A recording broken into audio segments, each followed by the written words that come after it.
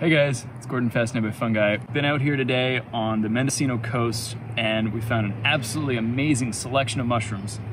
The, the real reason we were out here was the king boletes.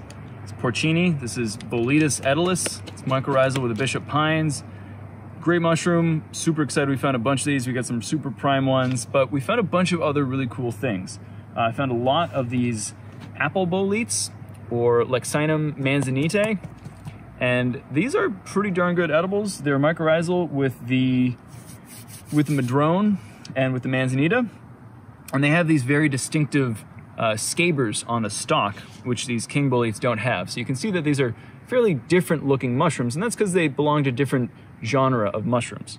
There is another mushroom you'll find when you're out looking for king boletes. It looks more similar, but it looks a little different. And this is what's known as the queen bolete. So this is Boletus regineus. Um, and this has whiter pores. These pores will darken over time. These pores will get more yellow, whereas the king bolete pores will get sort of more brownish red.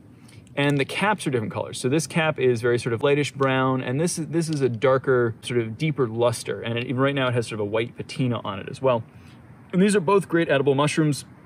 I actually like the queen bolete a little bit better. So, you know, yas queen, but this has, has slightly better texture.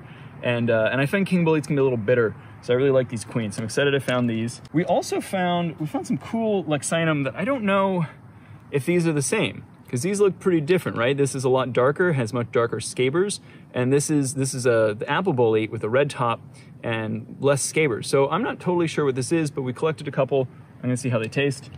Uh, I've also got some Xerocomellus boletes.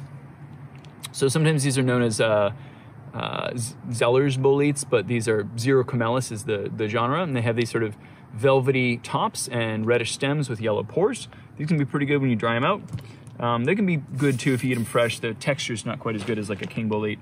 Uh, I've got this really interesting uh, Cortinarius, which is very, very solid. Uh, I don't know what the heck this thing is, but I have a feeling my friend knows, and so I, I grabbed one because I want to I want to check it out. Uh, I've also got this is a first for me. I found club fungi before, but I've never found anything this big. These are like forest fingers just sticking up out of the ground. Um, complete digits. This is a thumb. This is clearly a four thing, forefinger. I'm just missing, you know, another couple. Um, but I've heard that these are edible, so I'm excited to try them. Um, there wasn't a ton of chanterelles out there, but we got a couple of good ones. This is Cantharellus formosus, most likely. Um, so this is the Pacific golden chanterelle. And you can see here you've got decurrent gills that run down the stipe, and they're really more like ridges than true gills.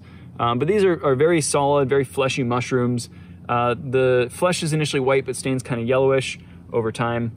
Um, we'll see more of these as the, as the season goes on, but we got a couple other mushrooms here. Uh, this was a Ramaria araiospora, this beautiful red coral. This is a pretty good edible.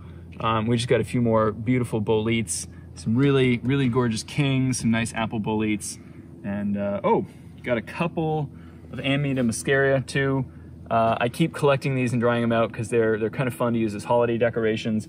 Uh, and I, you know, I can't resist because they're just so beautiful and red. Um, they make fantastic edibles too if you boil them twice, but be careful because they can make you quite sick if you don't do it right. So I've eaten the stems. I haven't had the the desire to eat the caps yet, but I've heard that the caps actually taste better than the stems too. So maybe maybe I'll boil a couple of these. Um, you want to boil it twice in salted water for about 10 minutes and uh, and then they can turn into pretty good edibles. So anyhow, pan out and see this beautiful selection of mushrooms. It's been a hell of a day, and uh, I'm glad I get to share this with you guys. So cheers to all these beautiful, beautiful mushrooms.